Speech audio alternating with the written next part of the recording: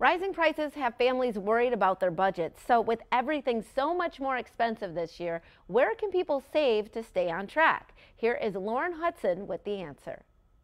Start by checking your bank statements regularly. That is what mom of four and former corporate executive Marinés Duarte advises when it comes to saving money without skimping. Maybe we have some subscriptions to newspapers and magazines that you we don't even read anymore, or we fall into the free trial trap thinking that we're paying it for 10 days, 20 days, but we end up paying it for the whole year. Duarte also says keep a lookout for bundles, especially on technology and phone services. We made a big change a couple of months ago to Xfinity Mobile and we're, we're saving up to 50% in our monthly bill. We are a family of six and we only pay $30 per line. A mentor for women throughout Latin America and the U.S., Duarte is all about helping moms and says we can all use some tips now and again. Actually, I'm passionate about helping moms find balance and making motherhood a little bit less stressful.